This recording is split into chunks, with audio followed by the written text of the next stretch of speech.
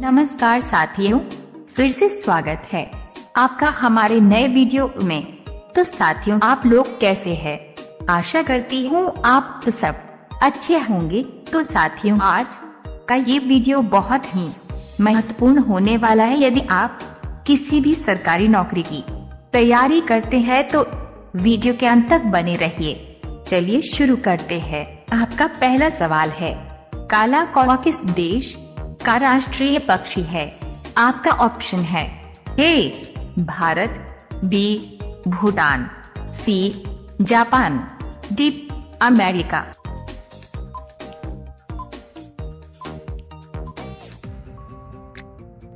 आपका सही जवाब होगा। बी भूटान। आपका दूसरा सवाल है। कौन सा जानवर दूध और अंडे दोनों देता है? आपका ऑप्शन है। ए चूहा, बी, हाथी, सी, जिराफ। डी प्लेटिपस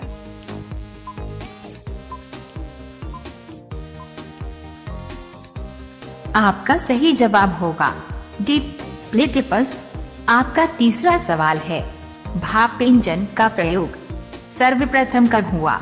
आपका ऑप्शन है ए, एक हज़ार आठ सौ दस में, बी, एक हज़ार आठ सौ बारह में। सी एक हज़ार आठ सौ चौदह में, डी एक हज़ार आठ सौ पंद्रह में।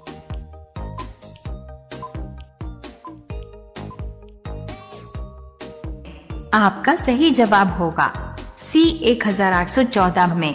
आपका चौथा सवाल है पीदलनगरी के नाम से किस नगर को जाना जाता है? आपका ऑप्शन है, ए, मुरादाबाद को, बी, आजमगढ़ को, सी, शिमला को। डी कानपुर को।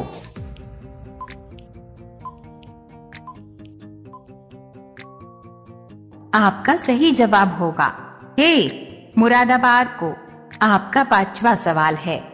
एक रुपए के नोट को कौन जारी करता है? आपका ऑप्शन है। ए राष्ट्रपति, बी, प्रधानमंत्री, सी, मुख्यमंत्री, डी, वित्त मंत्रालय।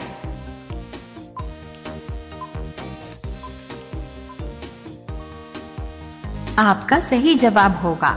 डी वित्त मंत्रालय। रोज़ाना ऐसी ही वीडियो पाने के लिए हमारे चैनल को सब्सक्राइब करके बेल आइकॉन को ऑन कर लीजिए। आपका आपका अगला सवाल है, छ, इसरो का मुख्यालय। कहाँ है?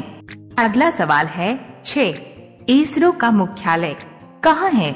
आपका ऑप्शन है, ए, मुंबई में, बी, बेंगलुरु में, सी कोलकाता में, डीप उड़ीसा में।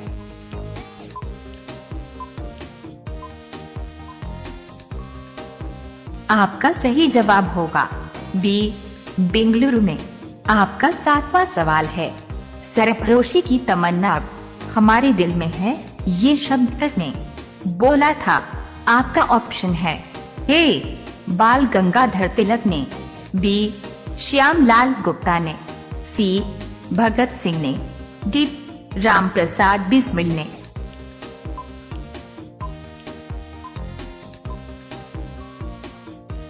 आपका सही जवाब होगा, डी राम प्रसाद बिस्मिल।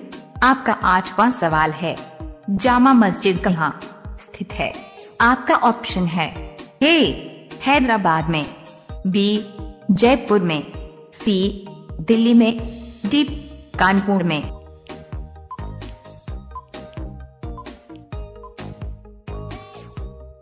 आपका सही जवाब होगा। सी, दिल्ली में आपका अगला सवाल है, नौ। विक्टोरिया महल कहाँ स्थित है? आपका ऑप्शन है, ए, राजस्थान में, बी, दिल्ली में, सी, कोलकाता में, डी, कानपुर में।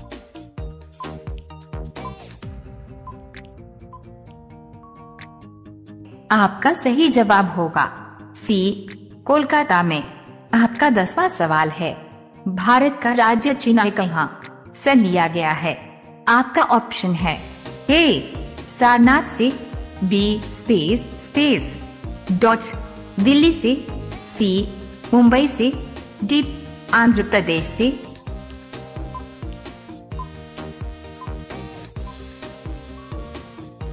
आपका सही जवाब होगा हे सारनाथ से रोज़ाना ऐसी ही वीडियो पाने के लिए हमारे चैनल को सब्सक्राइब करके बेल आइकॉन को ऑन कर लीजिए।